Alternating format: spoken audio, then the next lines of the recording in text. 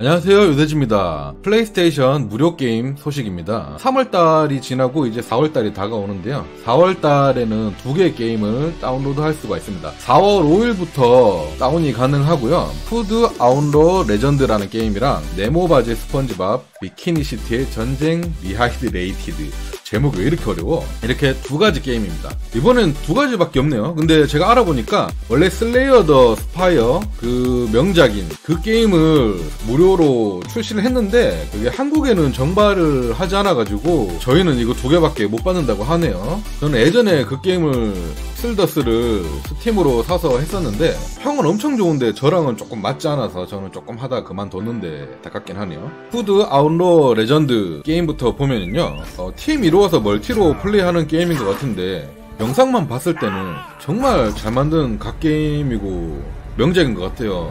그다음 좀 게임 방식도 좀 독특하고 소재도 좋은 것 같거든요. 근데 저는 이 게임을 이번에 처음 들어본 게임이에요. 그래서 좀 이리저리 검색을 해봤는데 평은 상당히 안 좋더라고요.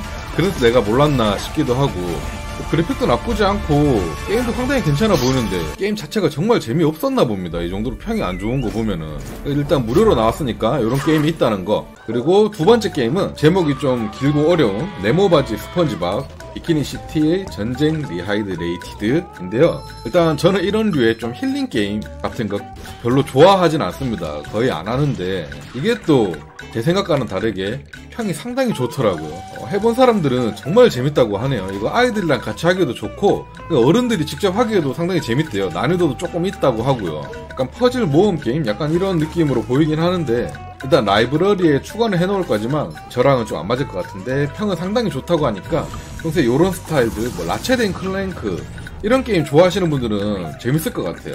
그런 분들은 한번 해보시길 바라겠습니다. 다들 좀 말하는 걸 들어보니까 어, 이 게임이 무료로 풀릴지는 몰랐다. 뭐 이런 반응들이 많더라고요. 그런 거 보면 그만큼 재미있다는 소리니까 일단 제 기준에서 4월달은 해볼 만한 게임은 없다고 생각됩니다. 아마 또 6월달에 구독 시스템이 바뀌니까 조정해서 이렇게 나오는 건 아닌가 싶어요.